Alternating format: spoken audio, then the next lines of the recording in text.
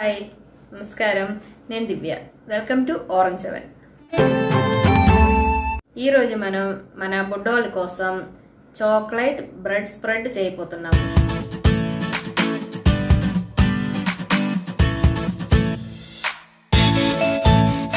న్యూటల్ల టేస్ట్లోనే ఇంటిలో ఉండే ground nuts బాదము లేకపోతే క్యాష్ నట్స్ యూస్ చేసుకొని మనం చాక్లెట్తో రెడీ చేస్తాము చాక్లెట్ అంటే మన పిల్లలు బాగా ఇష్టంగా తింటారు కదా. యాక్చువల్లీ వాళ్ళు నోటల్లే వదలరు. అదే టేస్ట్లో మళ్ళీ మన ఇంట్లో మనం వాళ్ళు ఇష్టంగా చేసి పెడితే బాగా తింటారు కదా. ఎలా చేయాలో చూద్దాం. మనకి న్యూటల్లో చేయడానికి ఇది వేడి శనగలు ఫ్రై చేసి పెట్టాను. ఫ్రై చేసి తొక్కు తీసి పెట్టాను. అలాగే ఇది కొన్ని బదాములు ఒక పదిహేను దాకా తీసుకున్నాను. అది కూడా కొంచెం లైట్గా రోస్ట్ చేశాను. ఇది కొంచెం షుగర్. ఒక వన్ ఫిఫ్టీ గ్రామ్ అలా ఉండదు. అలాగే అంత సేమ్ అమౌంట్లోనే మిల్క్ పౌడర్ తీసుకున్నాను. ఇది ఒక three teaspoon choco powder. Sweet sweetless ఉంటుంది కదా అది. కొంచెం డార్క్గా ఉంటుంది అందుకని కొంచెం తక్కువ తీసుకున్నాను. ఇప్పుడు మనకి ఇది అన్నీ కాకుండా మిల్క్ మేడ్ ఉంటుంది కదా మన ఇంటిలో తయారు చేసి ఉండే మన ఈ షుగర్ మిల్క్ పౌడర్ పాలు బెదలు ఒకేసారి మిల్క్ మేడ్ యూస్ చేసుకోవచ్చు. ఇప్పుడు మనం పాలు కూడా వాడుతున్నాం దీనికి.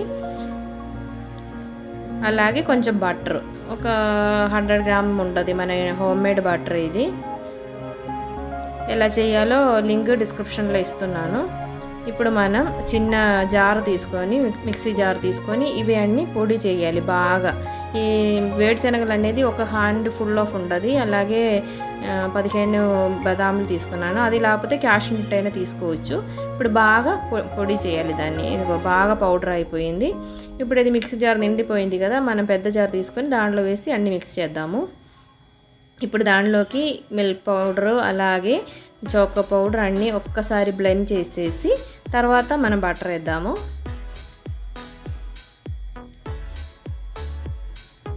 ఇదిగో బ్లెండ్ అయిపోయింది.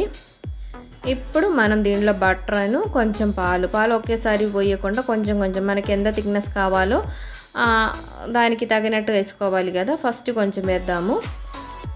ఒక ఒకటి రెండు మూడు నాలుగు టీ స్పూన్ పాలు వేసి ఒక్కసారి మిక్స్ చేసి చూసి సరిపోకపోతే ఇంకా కొంచెం వేద్దాము. అలాగే ఒక టీ స్పూన్ వెనిలా ఎసెన్స్ కొంచెం మంచి ఫ్లేవర్ టేస్ట్ బాగుండడానికి కొంచెం వెనిలా ఎసెన్స్ వేస్తున్నాను.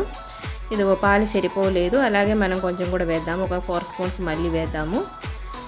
ఇంకా కావాలంటే మళ్ళీ వేసుకోవచ్చు. ఏం కాదు. చూడండి బాగా స్మూత్గా బాగా గ్లోగా ఉంది కదా. ఆల్మోస్ట్ రెడీ అయిపోయింది. అదిగో మనది ఇంత థిక్నెస్లో వచ్చింది. అంటే ఎయిట్ స్పూన్స్ వేసాను పాలు.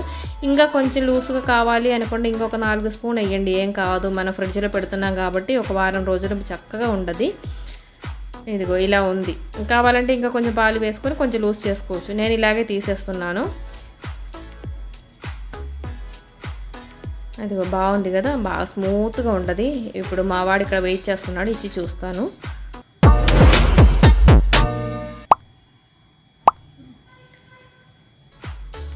అదిగో చోక్ మన చపాతీ మీద రాసుకొని బాగా పిల్లలు ఇష్టంగా తింటారు. చపాతీ కానీ బ్రెడ్ కానీ ఇడ్లీ దోశలు కూడా వేసుకుంటాడు. అదిగో కట్ చేస్తే ఇలా ఉండదు వాడికి ఇచ్చేస్తున్నా బుడ్డోడికి.